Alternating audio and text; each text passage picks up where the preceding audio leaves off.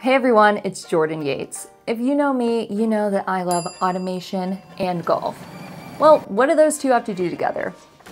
Crouzet sent me a demo with their Millenium Slim, the world's smallest logic controller, and they integrate it into a putting green so we can show off the Bluetooth wireless connection that this Slim Relay is capable of. We're going to be using their Crouzet Soft virtual software, which might I add is free and very user-friendly to show off this cool demo. So let's get into it.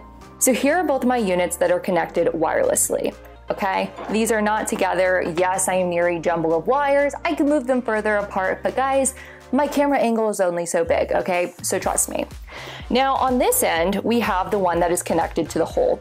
So in the hole, as the ball goes out, there's a sensor that it'll touch. The sensor will then communicate to the Slim Relay, the Millenium Slim Relay. You know, the smallest one on the market in this box. It will communicate to this one, and then it will send a message via Bluetooth to the other Millenium Slim Relay, okay? This will then tell it, hey, ball in the hole. Awesome. But before that, we have to get it set up on the app. Everyone's favorite thing, software. Luckily, this one is on our phone.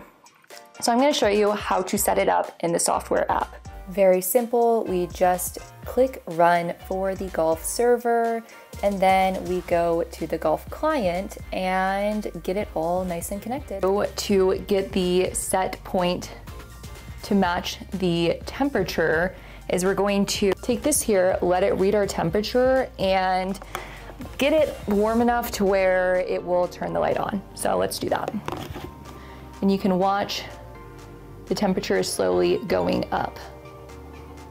Almost there. We need it to be on the right temperature for about two to three seconds for it to set. You'll see now that I hit it, the green light is on and it tells me chance to golf. That means I have 30 seconds to get the ball in the hole. Better run. I ran out of time, so I had to reset the timer again. I hit the ball. Of course, the ball goes in, ball hits the sensor, sensor communicates that there has been a ball in the hole. This slim relay will then communicate to the other slim relay via Bluetooth, and that is how the red indicator light turns on when the ball is in the hole. And just like that, I'm a sweaty mess from showing off the Crouzet Millenium Slim Logic Controller.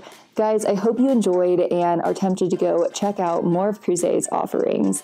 In the meantime, I'm going to be cleaning up the studio space because I have made an absolute mess and I have golf balls everywhere. But until next time, guys, thank you so much for watching and I hope you like and subscribe. Bye.